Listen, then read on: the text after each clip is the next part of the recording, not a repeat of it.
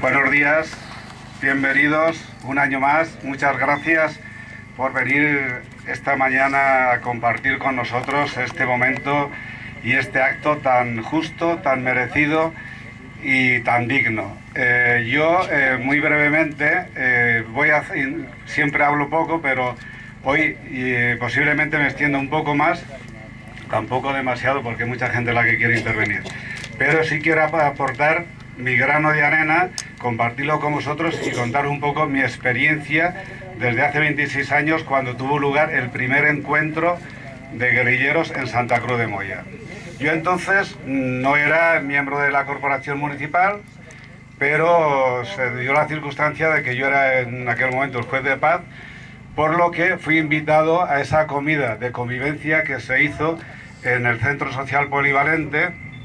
Curiosamente, lo que ahora se están celebrando actos muy bonitos, pero en aquel momento, eh, antes de ser Centro Social Polivalente, era el cuartel de la Guardia Civil.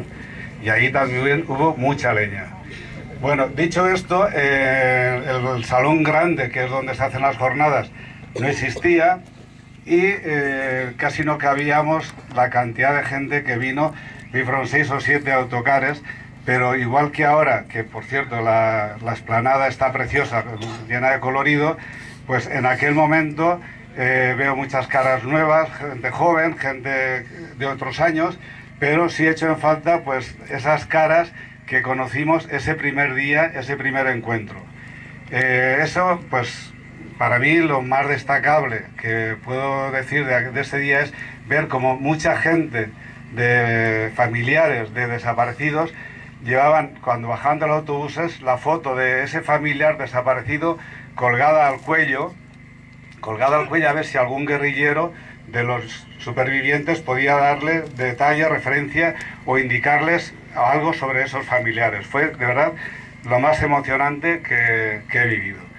Eh, una vez se terminó la, comida, se me acercaron tres señoras, yo conocí a una de ellas, Raquel Pelayo, que por cierto sus cenizas están depositadas aquí en el monumento, y eh, me propusieron, bueno, me preguntaron que si habría alguna posibilidad de ir al registro civil, al juzgado, a ver si había algún documento, algo sobre los 12 guerrilleros que murieron ahí en Cerro Moreno.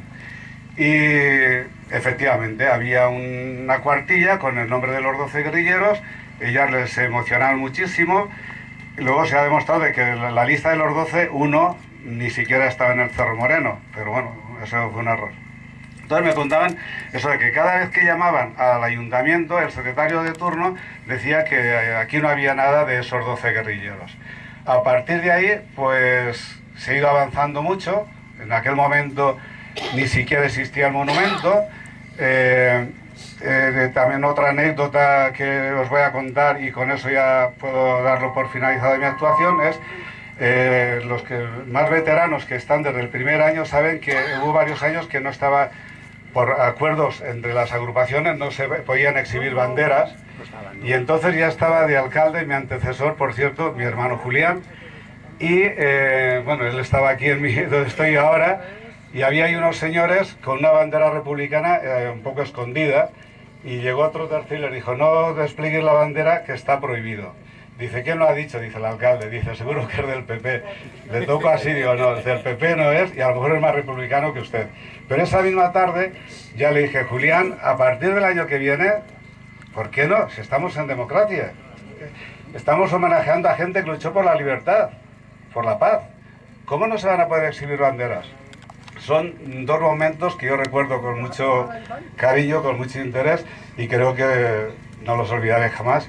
Son, ya digo, muchísimas anécdotas porque han sido muchos años, 26 años, dan para mucho o dan para poco según se, mire han dado pues para que ahora tengamos este acto, han dado para que tengamos el monumento, pero han dado muy poco por la poca, el poco interés de los gobiernos que hemos tenido, aunque yo sea militante del Partido Socialista y esté como alcalde por el Partido Socialista, pero también he expresado mis quejas en una reunión que tuvimos, que aquí hay algunos de los que estuvieron presentes, en el Congreso de los Diputados, que en principio nos iba a recibir bono y al final nos recibió su secretario. Entonces son cosas que no se puede ir contra la sociedad, no se puede ir contra el pueblo, como se dice. Entonces, bueno, pues aquí estamos. Al año que viene no sé si podré venir a dirigirme a todos ustedes.